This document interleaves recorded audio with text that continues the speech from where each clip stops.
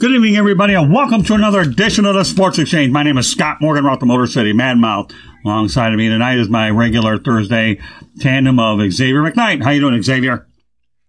Doing well, Scott. Great to be on with you. Glad to have you. And Mel Farr Jr., what's going on, big guy? Not much, man. How you guys doing? All right. Well, for uh, those individuals that are new to the program, I want both of you guys to give a basic introduction here about uh, yourself, and then we'll get to the uh, meat and the potatoes. All right? Go ahead, Xavier. Lead it off.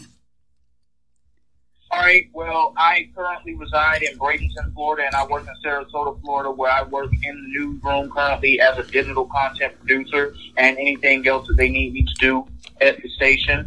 But um, I'm also on here on the WFAN network every other Friday. Tomorrow will be one of those Fridays with my own show with Scott titled The Real and the Rare. We dish out some hot, spicy, sizzling entrees in our kitchen on those nights. So we hope that you guys will tune into that content as well. And you can also catch me more here on the Sports Exchange and other programming that we have here on the WFAN network. All right, Mel, you're up. Yeah, well, hey, I, I live here in Atlanta, Georgia currently. Um, I'm in, you know, I'm in, in business for myself, also in the financial services industry.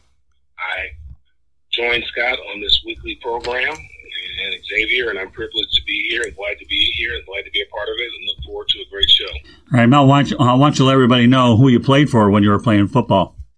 Besides UCLA football, Uh, right? A long, a long time ago, in another life, I played with the with the Los Angeles Rams back when they were originally in Los Angeles. So it was back in 1989. Yeah, another lifetime ago. you know what? It's funny how you say that. I was on a NSMA called National Sports Media Association. We're talking hockey today, and I'm bringing up some names of the past. And I was telling the panelists another lifetime ago that thing called a transistor radio. Xavier McKnight, I wonder if you even know what a transistor radio ever was. I do not. Good, I figured. What the- I rest my case. Mel does, right? Of course, he probably doesn't know what a Walkman what, what a Walkman is either. exactly. No, no, I know what a Walkman is. I actually had a Walkman when I was eight years old. Really? Okay. Yeah. All right. Well, we got him on the. Tr- I'm impressed. well, we got him on the transistor radio at least, Mel. So one out of two is not bad, right? Absolutely. I mean, he doesn't remember when cars, when uh, FM was an option, FM radio was an option, air conditioning was an option. He, he he doesn't remember those days. I remember my days early in the car business. All those things were an option. I know. Cruise control was. Don't forget that one either, Mel. Cruise control was an option. Absolutely. Remember that? See, Xavier. power windows and power windows and power door locks. All that stuff was an option. Ask Xavier McKnight to uh, Google up what a Ford LTD was, or an AMC Gremlin. Yeah, those those. Yeah, uh, Xavier McKnight. We don't want to make you feel young, but once upon a time, as they say in the storytelling business. Oh well, but we won't say that anything once upon a time when it comes to talking football. We're going to lead off with a little college football though first, okay? One thing that came to mind the other day is that 10 U- UCF players have opted out of the 2020 season. Now, I know that there's been a lot of calming talk about college football, but let's address the UCF Knights and 20 guys deciding not to play uh, ball this year. Who wants to take the lead on this? Go ahead, Mel. You uh, you start us off. Well, um, this is the first I'm hearing of, of that. So, uh, and, you know, there's a lot of guys. Uh, you know, I was looking at um, at ESPN.com yesterday, and there's a lot of guys. Uh, the, the kid from the University of Georgia. I know this is not what we're talking about, but the got that transfer, uh, quarterback transfer from Wake Forest, to University of Georgia, is opting out, and is just going to forego his, his this season and get ready for the NFL draft. Yeah, And if that's what guys are doing, I think that's a mistake, you're in my opinion.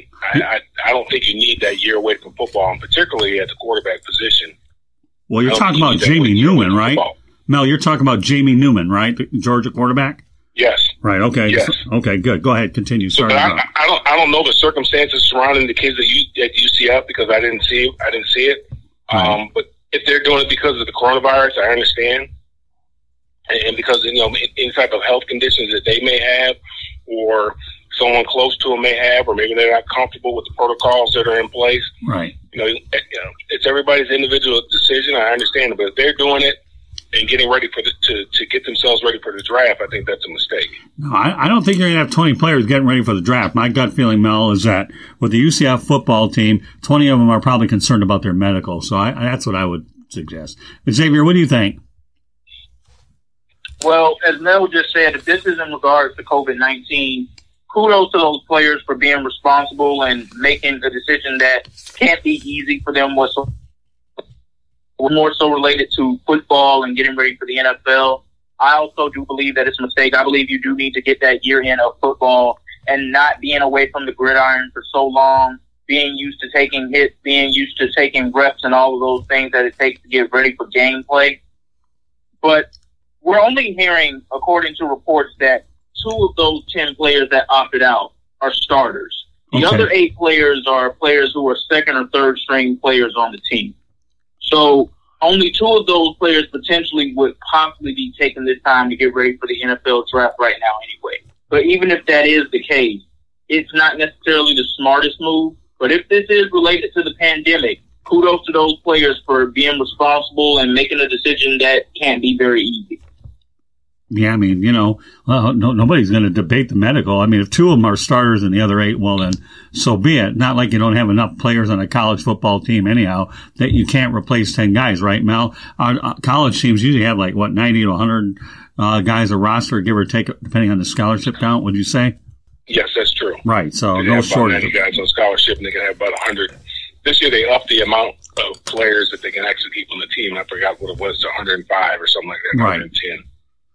Well, yeah, well, so they, it's not like you can't replace those 10 guys without a doubt. So, you know, but yeah, I mean, again, everything in a very unprecedented year, uh, obviously circles around COVID 19. So, but you know, I thought we'd lead it off here with UCLF and uh, another TBD. Well, I'll be curious to see how many other, um, larger amount of players, uh, opt out as time goes on. We still have another couple weeks to go on this. So, you know, this is a developing story that we're going to continue to follow every Thursday. That's what we have on the UCF side. Anything y'all that you two want to add to it? Would you say? No, just simply we'll just have to wait to see what's going to happen with UCF football and all of football in college that's scheduled to have games this season. We'll see if this continues to be a pattern or not. Okay, fair enough. All right. Well, according to Miami Dolphins head coach Brian Flores, Tua's hip injury is a factor in uh, the team's early season as uh, QB plans. Now, the latest report was that Josh Rosen, uh, apparently the uh, Dolphins are fielding trade inquiries. So let's talk about Tua first, and then we'll talk about Josh Rosen second. Who do you who wants to take uh, the lead on this? I'll take the lead on this one just simply because it makes the most sense for me that Tua is the number two quarterback because at some point during the season, I believe he's actually going to start some games. Maybe it's a Patrick Mahomes like situation where we only see him towards the tail end of the year as he continues to rehab while also taking reps in practice and getting used to taking hits in the uh, NFL from NFL players, even though he won't be taking them from teams from players on opposing teams, I should say. But it might be a Patrick Mahomes level situation where Ryan Tannehill is in that first spot for most of the season. But depending on where the Dolphins are in the season, if we get to week nine and this team is two and seven or three and five, they may decide, okay, it's time to give the kid the keys to the offense. But I believe they have him slated in the right spot. I'm not surprised to hear that Josh Rosen is on the trade radar we uh, once again we heard about these trade rumors with Josh Rosen again with the NFL draft looming, and hearing that the Miami Dolphins were either going to draft Tua Tagovailoa or Justin Herbert, one or the other. They were going to get a franchise quarterback in the draft. Josh Rosen gave them a sample size last season, and it wasn't as impressive as many were hoping that it was going to come out to be. So I'm not surprised to hear his name's on the trade radar again at this point, I don't know what team he could possibly go to and really have a chance of really making an impact. That remains to be seen. He's on the trade radar, but I actually believe he will go into the season on the Miami Dolphins roster. Just simply because I don't see teams in a major need for a quarterback right now. Maybe the Cincinnati Bengals take a chance on this and try to get a backup in place for Joe Burrow, who we learned a few days ago will be the starter for that team. as head coach Zac Taylor announced just a few days ago. But other than that, I don't see a situation where Josh Rosen can actually go and thrive right now and have a legitimate shot of competing for a starting quarterback position. But before we go any further, speaking of Ryan Fitzpatrick, I would like to take this time to offer my heartfelt thoughts, prayers, and condolences to him and his family. He lost his mother on last week, and he found out while he was in practice with the Miami Dolphins. And he left practice, and he was reportedly very distraught. And head coach Brian Flores has come out and said that they are giving him as much time away as he needs as he grieves with this horrible loss.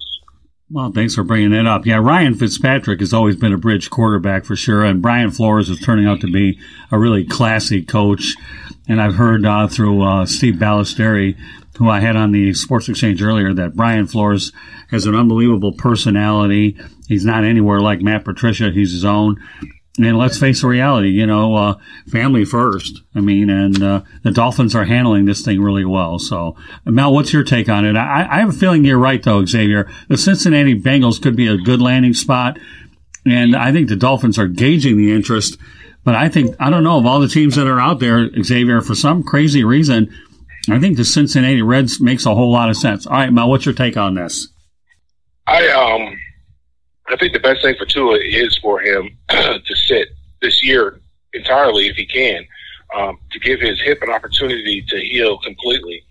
Uh, I know I was listening to Brandon Marshall, and he was talking about he had, he had three hip surgeries and, and, the difficulty coming back from the hip surgery. Um, you know, and I was just last week a kid that played with my with my nephew in high school in Georgia, um, uh, Dominick Blaylock, Blaylock he just tore his ACL again. And he had tore it in the championship game in the uh, I believe he tore it in the in the um, SEC championship game. Right. And uh, he just tore it again in practice for the second time, so he's going to be out. And I think you know trying to rush these guys back too soon, you know, I I think that would that would uh, do irreparable harm to the franchise by trying to rush Tua out there too soon. They have a, a capable, quality starter in uh, in Ryan Fitzpatrick. He's been around a long time, and even if you want to keep Josh Rosen around, to let him go in there and try to build his trade value if you want to if you want to get rid of him. I know they you know they've been t- taking on feelers. I don't know if they've been taking feelers. I mean, I, I don't know if they've been fielding trade talks. I think they've just been putting out feelers to see what they can get for him. Right. Uh, they gave up a second round pick and a fifth round pick for him. Uh, I know they would like to try to get something comparable to that. They probably won't, but they would like to get something for him. You know, Leonard Fournette just got released.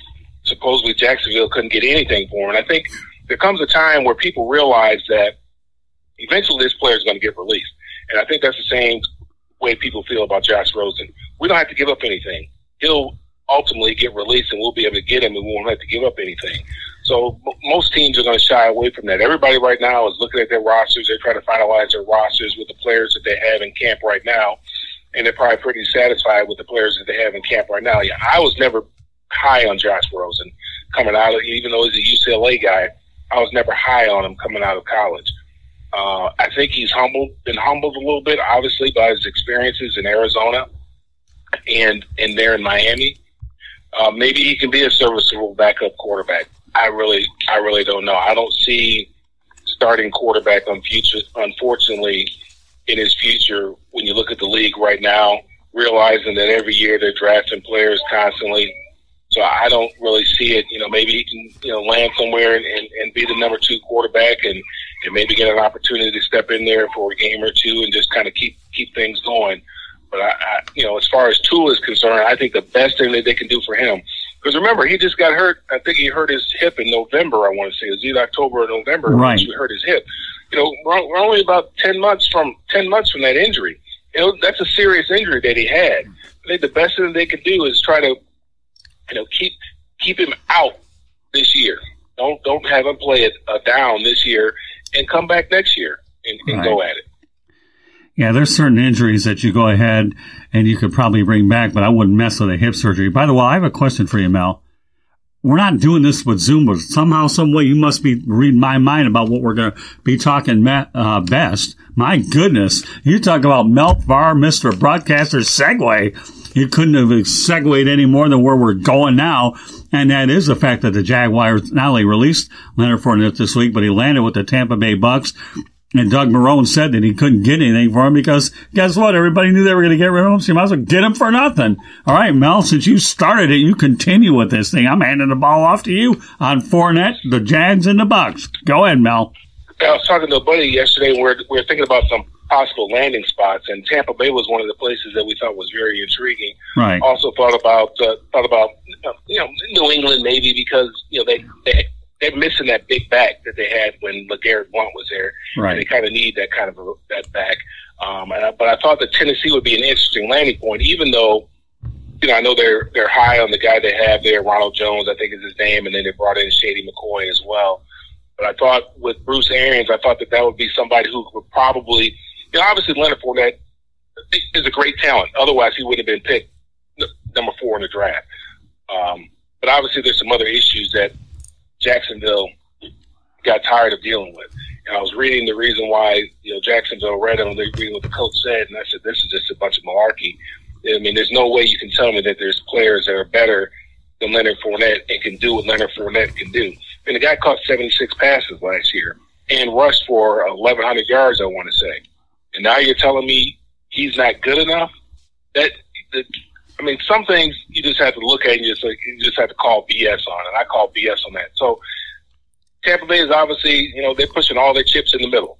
They right. got Tom Brady, they got Gronk, Gronkowski, they're they're all in.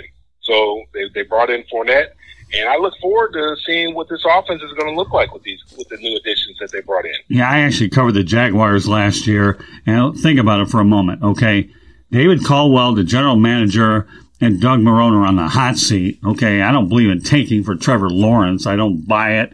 You know, although who knows, they may land the guy. But there's a dysfunctional situation up in that front office, and I don't think that you go out there and cut a guy with that much talent. So they must have knew something uh, that we didn't know, or there must have let's uh, cut bait with the guy, is what they probably will end up doing uh, because of front office uh, friction. So Xavier, uh, you know, I, I don't but I don't, you never know. I mean, this is a make or break year for Mar- Marrone and Dave Caldwell. And judging by the signals I'm getting up there, it's looking more of a break situation. All right, Xavier, you uh, go ahead and take it from here. Well, Scott, it's almost like you read my mind on where I wanted to go with this conversation next because you're very well connected to that team and the coverage that you provide for them. And all I've been thinking all week, not only with the Leonard Fournette cut, but also with the trade of Yannick Ngakoue and all right. these other moves with other great players on that team that the Jaguars have made, Doug Marrone's more than likely going to get fired at the end of this season. Dave Caldwell is more than likely going to get fired at the end of this season. Tank for Sunshine, as they've been calling it on social media. For those who don't know, Sunshine is the nickname that many have for Trevor Lawrence. It is in full effect. And my question is, why didn't you fire these guys at the end of last season if you knew that there was a chance that you were going to come into this season with this type of mindset and just the type of team that you wanted to build just for this year. Not one that was going to be very competitive at all. Because these guys are going to get fired more than likely at the end of this year. And they don't necessarily have the team to really go out there on the field and compete with some of these other teams right now. I mean, this is atrocious what they have done to this roster in the past few months. Just absolutely, they are absolutely unrecognizable from that 2017 team that went all the way to the AFC Championship, had a lead in the fourth quarter until Tom Brady and the Patriots did what Tom Brady and the Patriots did many times throughout his tenure in New England that led to them going to nine Super Bowls and winning six of them.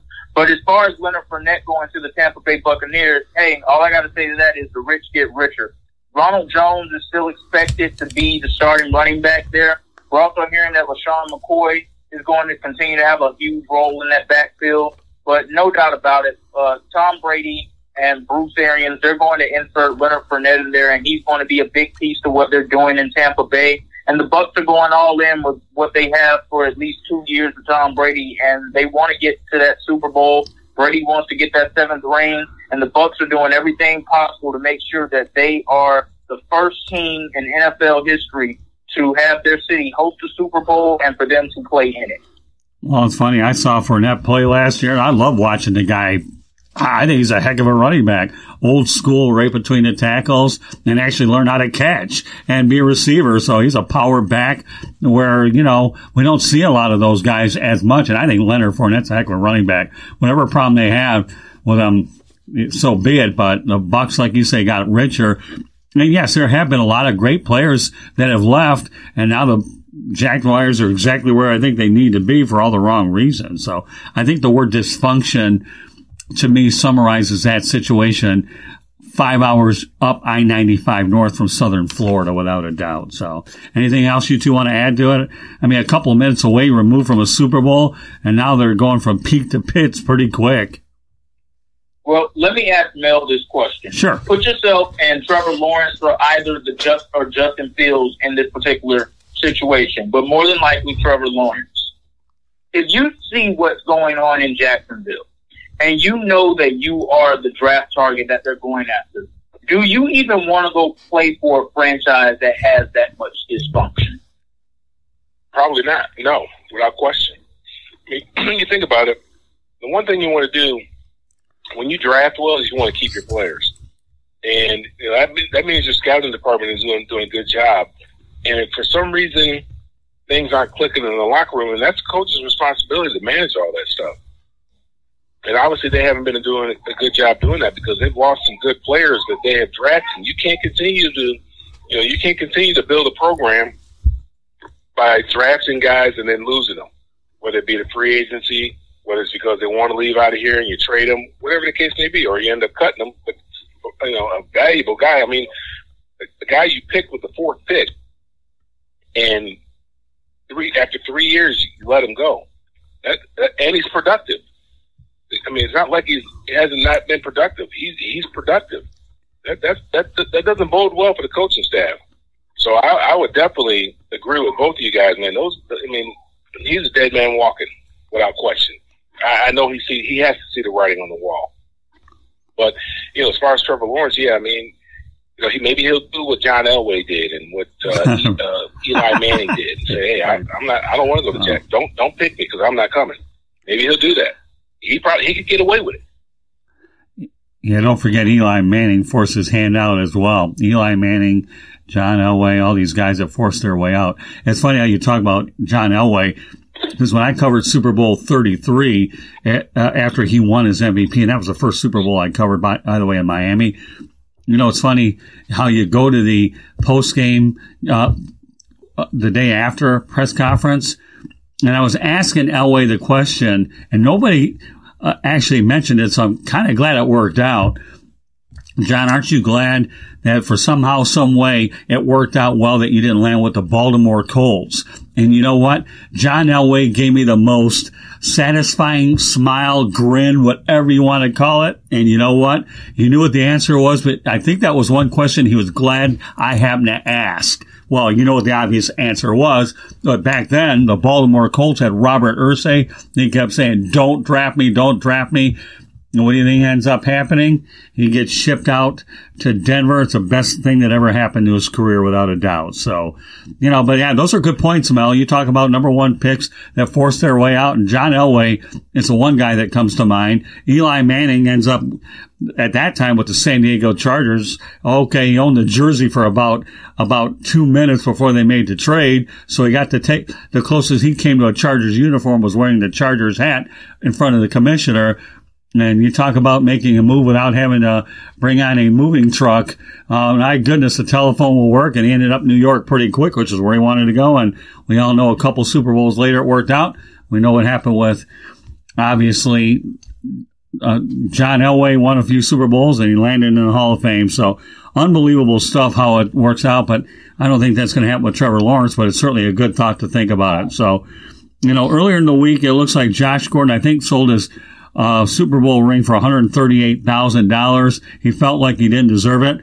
Well, today it looks like the Seattle Seahawks re-signed Josh Gordon as a wide receiver as he awaits reinstatement. Now, here's a little bit of information about Gordon. Okay, he'll receive a one-year contract from the Seahawks and could earn more than $1 million.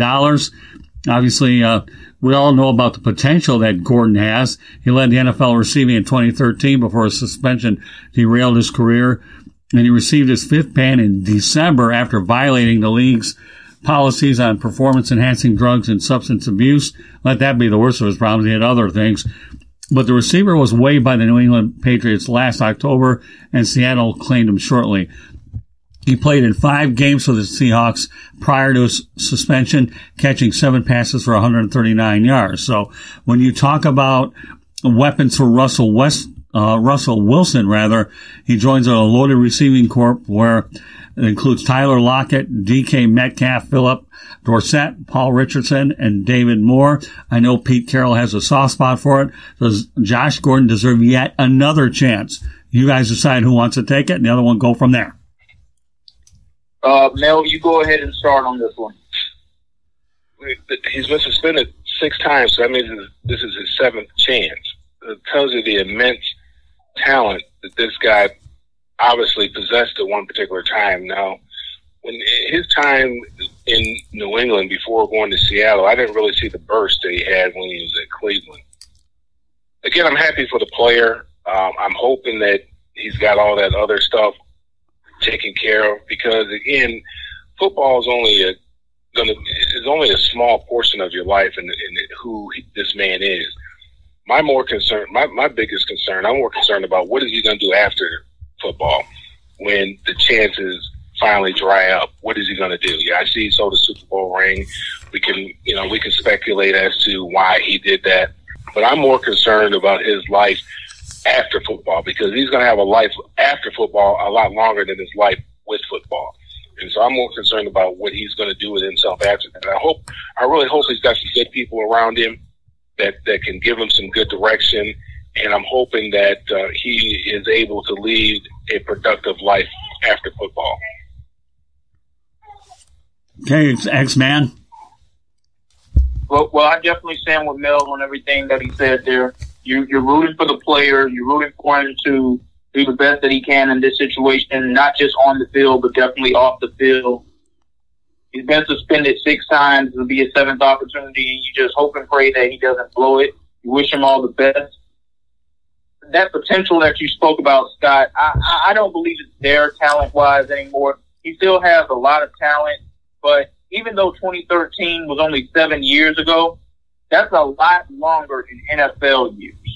So, no, he, he he's not what he once was talent wise. I didn't see the burst when he was in New England either. You know, you just wish him all the best, and you just hope that he can get his act together so that he can live a long and productive life after football is over. Okay. Anything else you want to add to it, Mal? No, Okay. Nope. I'm, I'm just again. I'm, I'm happy for the player. I, I hope he makes the best of it. I know that as a competitor, and you know this as well as anybody, you take away his livelihood, then you know obviously it, it, could be a problematic. I know one guy who benefited by the nine million chances was Adam Pac-Man Jones, and he managed to salvage a decent career with a lot of suspensions, and he was able to do it with the Cincinnati Bengals. So we'll move on to something that kind of relates to what we've talking about in the future. But here's one that I want you guys to think about for a moment before you answer, okay?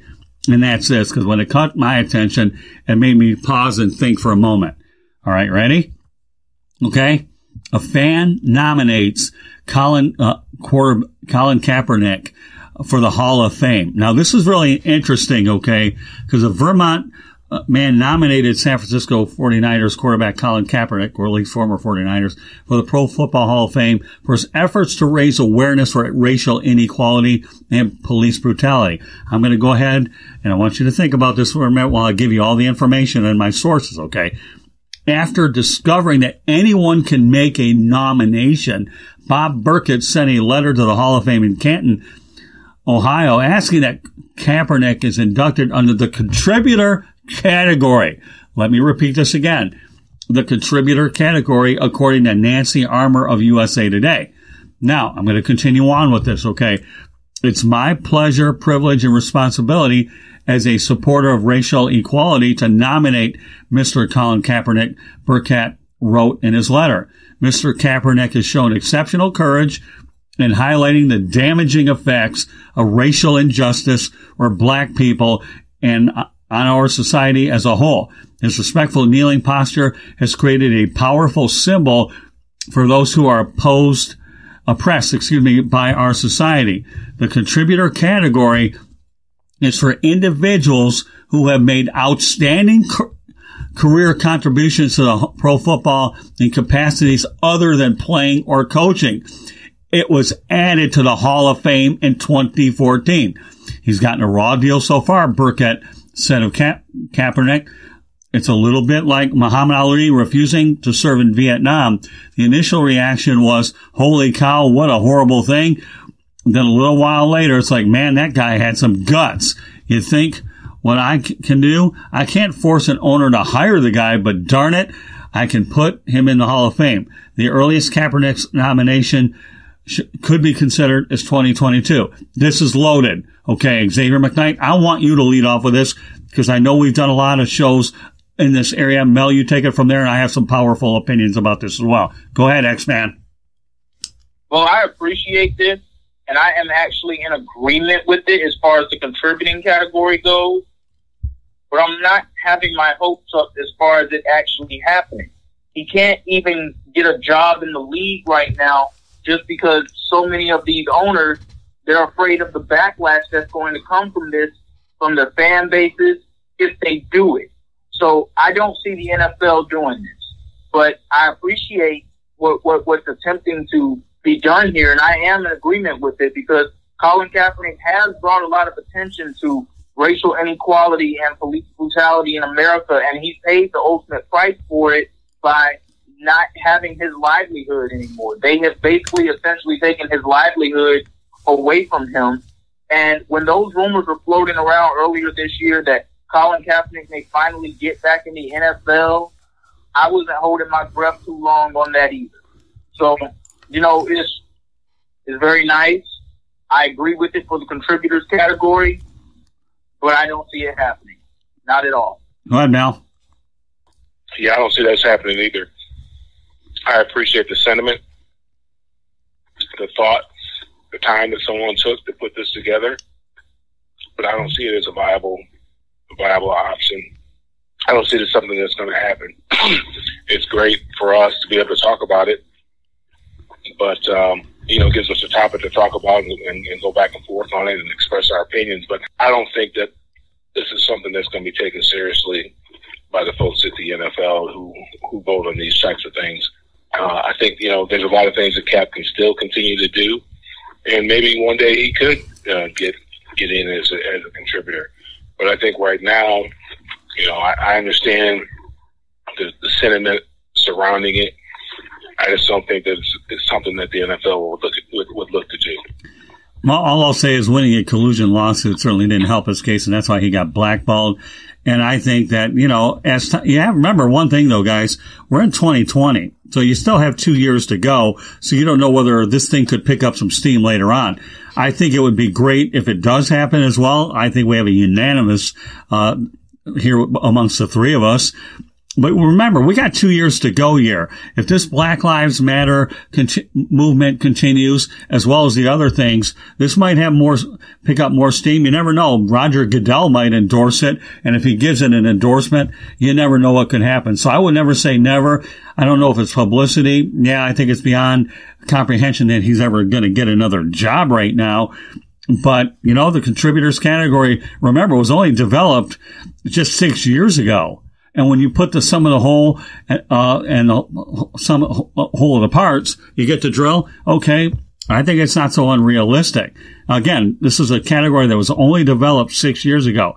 In other Hall of Fames, you have builders categories, and I think including this one as well. This is a, this one's relatively new, but as this movement continues to go on, I'm not so sure how far fetched it isn't. You know, it'll be pretty interesting to know. But uh, I don't know. I'm not ruling this one out for some crazy reason. The way the climate is these days, again, we'll know in about two years from now when this comes up in 2020 if it gets any steam. Now, if you guys have been around any of the Hall of Fame voting per se, when you get players in, you know, I don't know whether the writers factor into this whole thing or whatever the case may be. But let me tell you, when something get picks up steam with these Hall of Fame things, once they take off, they can take off like a rocket. Again, I know it's a nomination right now, but I think this is a story that could develop. And the best part about it is we got about two years to talk about it.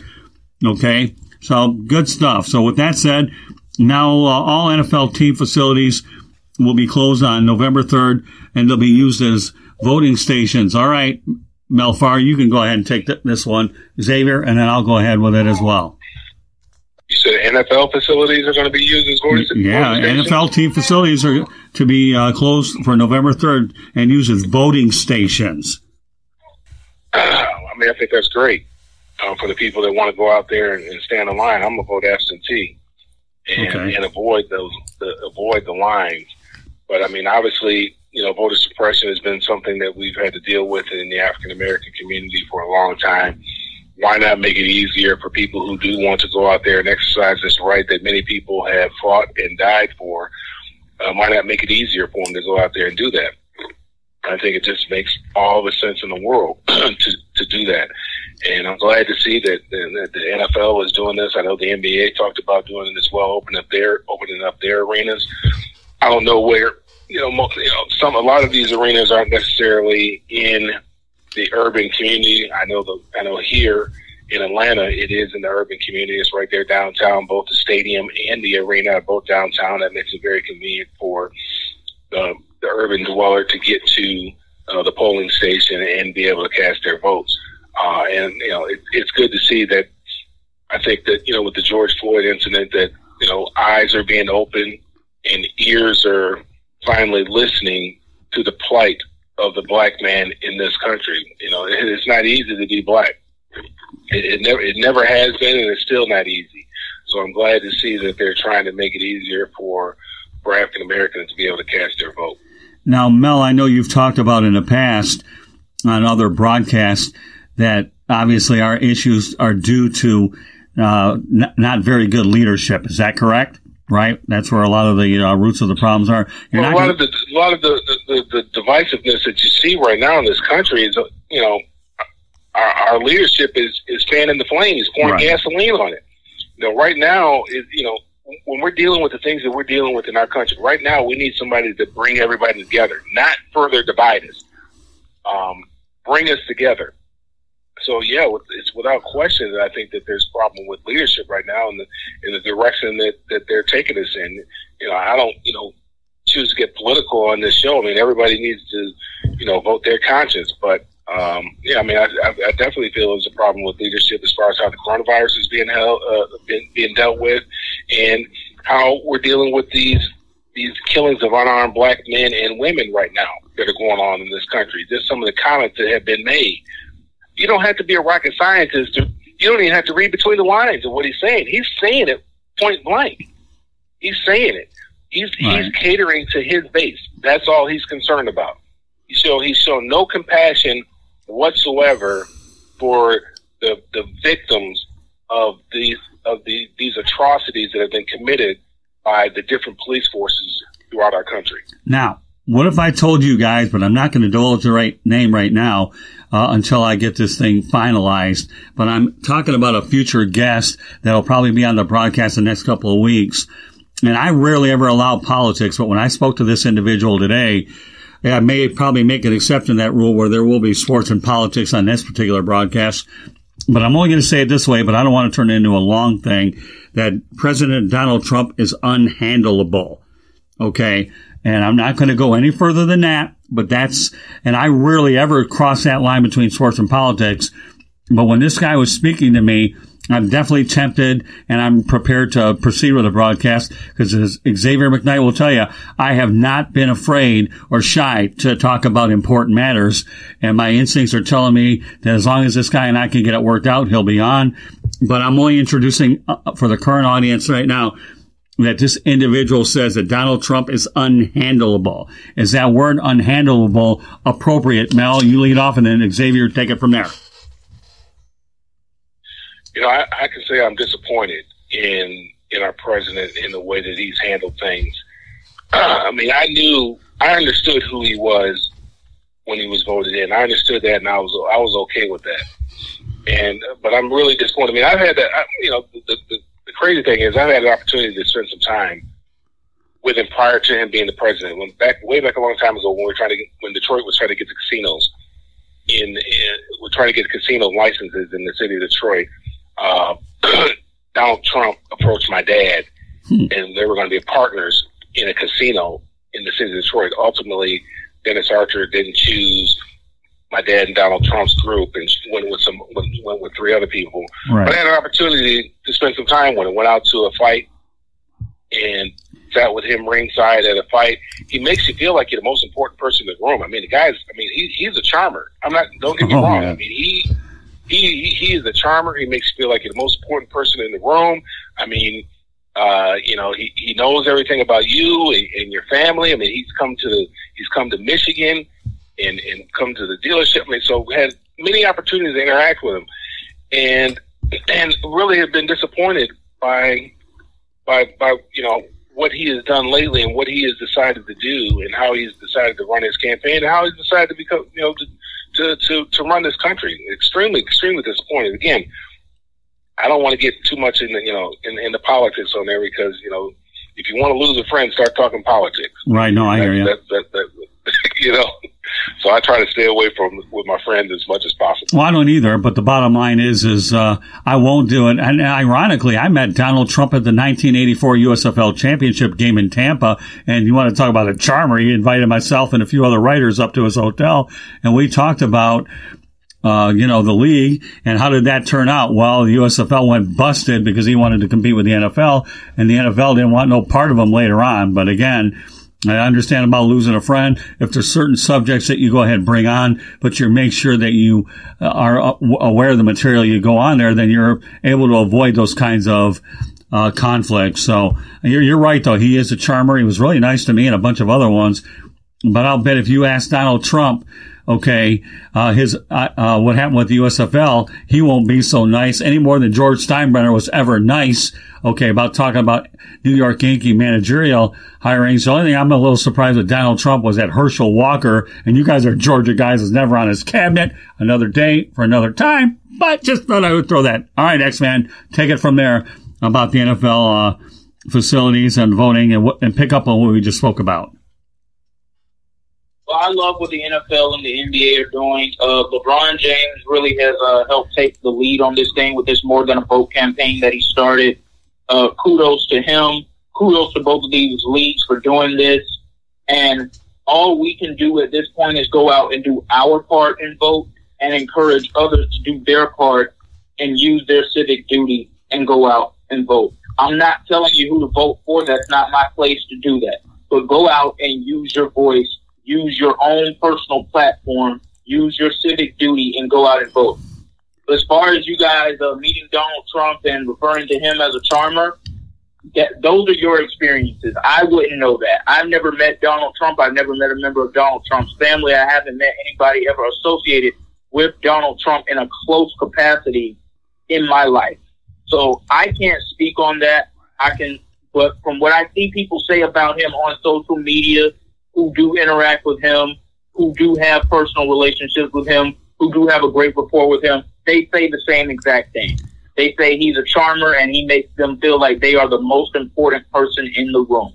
So uh, this is what I see everybody else saying. So I have no doubt to sit here and believe that those are not true things, according to what those people are saying. But can I say it for myself? No, because I haven't experienced it yet.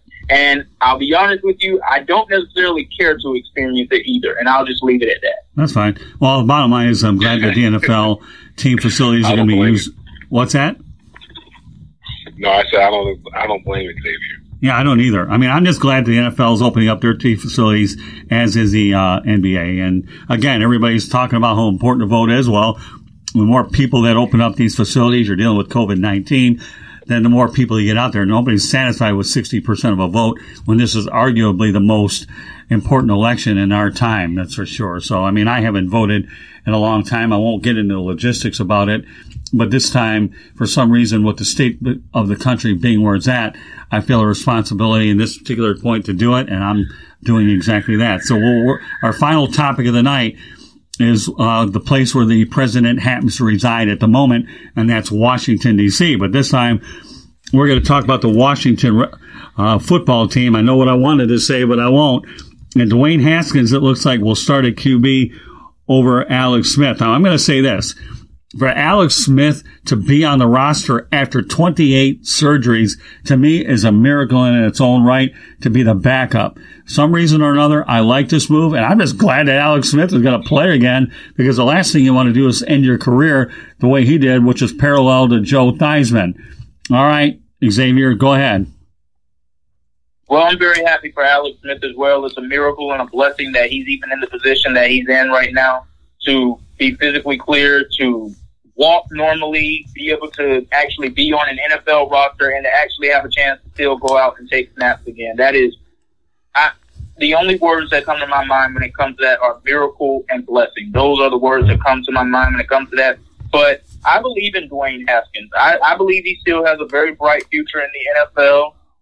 And I believe with him having some stability at coaching now with Ron Rivera, who we wish all the best as he continues to battle cancer, with him having some stability there now with coaching and with this organization now seeming like it's taking a step in the right direction, I believe they very well could have, have their franchise quarterback in Dwayne Haskins.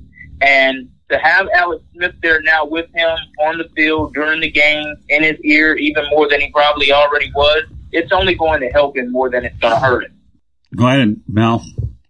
I um, you know, it doesn't surprise me that, that, that he's going to be the quarterback. I mean, they spent a lot of draft capital on on on on Dwayne Haskins. I know they also brought over. Um, didn't they bring over the guy from uh, Tampa Bay too? I mean, excuse me, not Tampa Bay, but from Carolina. Didn't they bring a quarterback from over there as well? Yeah. Yes, they did. They brought in Kyle Allen. Yeah, thank you, Xavier. Yep, okay, but I am I am surprised though. I mean, I don't know if you guys have watched the. Uh, I, I can't remember what it was. The, the the the documentary on Alex Smith and even looking at him, I haven't really seen, I haven't really seen video of him out there on the field.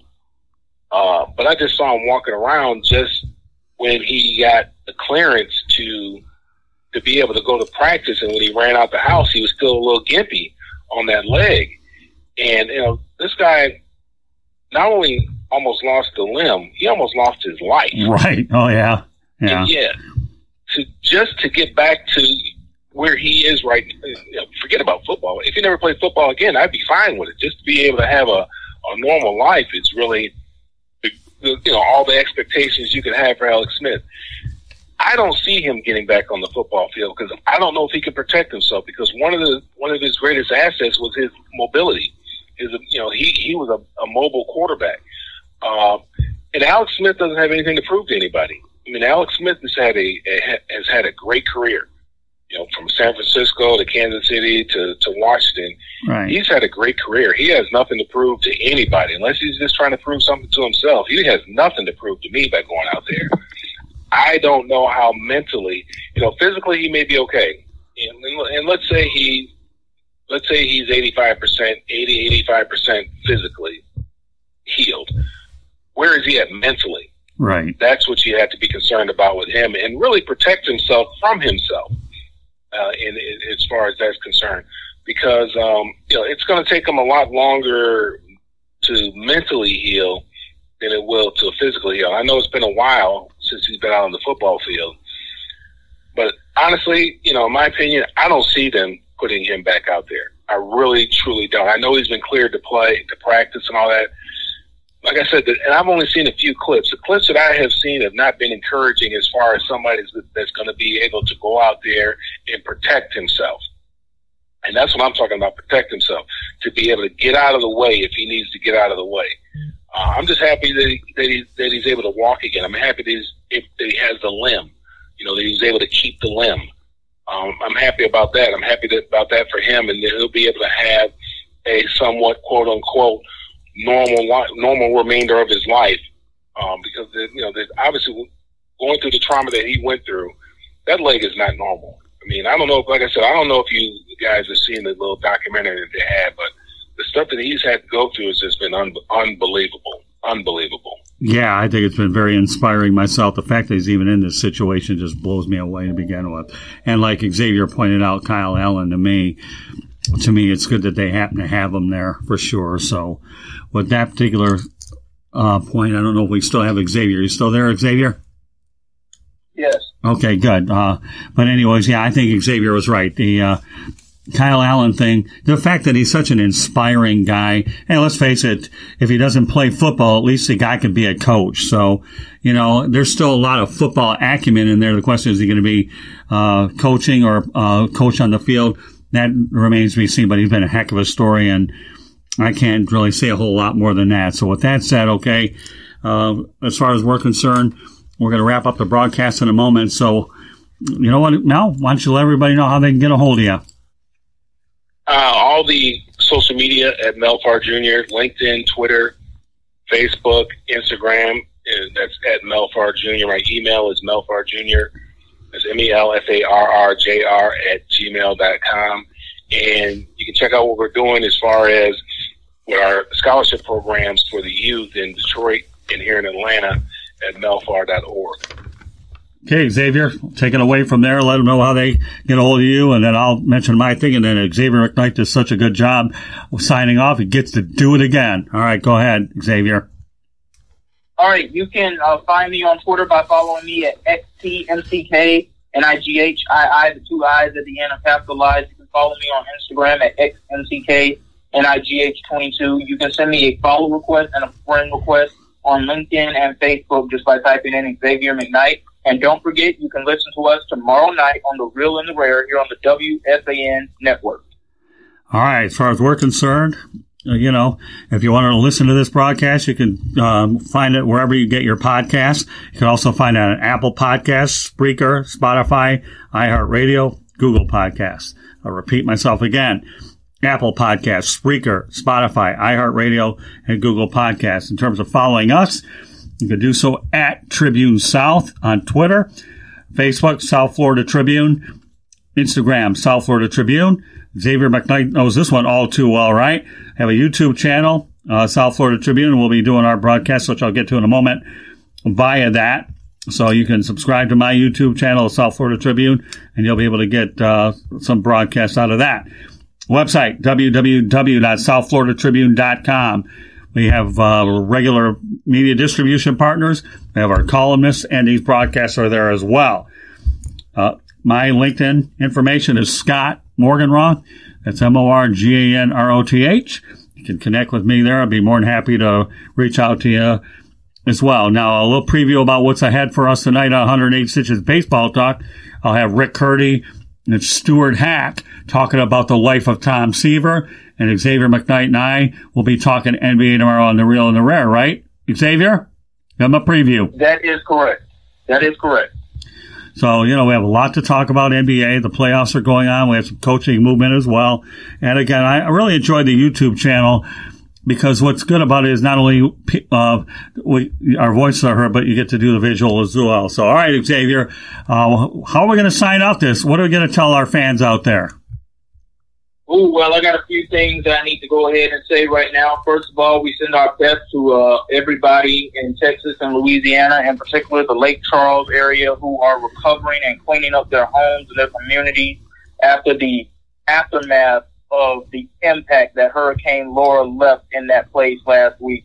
It's just been some absolutely devastating videos and images that we have seen, and we wish those people all the best, and in any way that we can possibly help them out we will definitely do our part to continue to do so, giving our best to all of the people in Belize right now. Hurricane Nana is there right now and is going through that area right now. So we're giving our best, our thoughts, our prayers, our best wishes to those people in that area.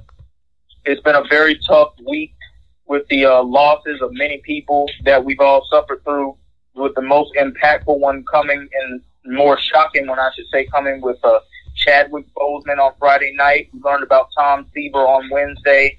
Uh, Georgetown legendary men's basketball head coach John Thompson.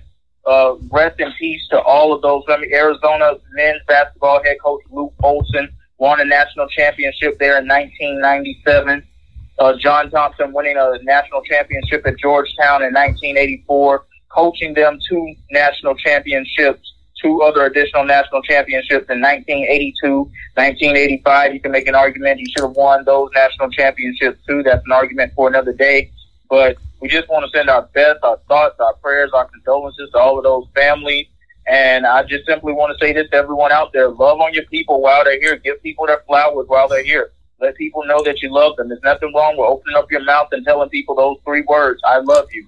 Nothing wrong with saying those words. And as you guys know, we have to end it on this note here. COVID-19 is still a very real thing out there, ladies and gentlemen. And you need to continue to be vigilant and take this thing serious and be responsible. Wear your mask, put on your gloves, don't gather in large crowds, continue to practice social distancing. Let's do everything we can to take care of ourselves, but to also take care of each other. That's the only way we're going to continue to push through this.